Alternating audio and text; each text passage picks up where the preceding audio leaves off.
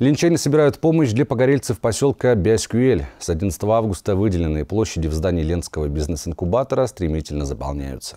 В кабинетах не протолкнуться. Люди складывают вещи в лестничном проходе и гараже. С призывом собрать вещи для пострадавших к ленчанам обратились из штаба «Единой России». Горожане откликнулись сразу.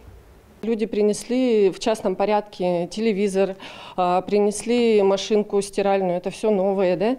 И приносят, конечно, продукты, приносят вещи, вещи разные, зимние, детские, взрослые. Мы уже переместились в третье место, гараж заполняется, но у нас просто два, две аудитории, буквально не остается места, люди очень активно приносят помощь.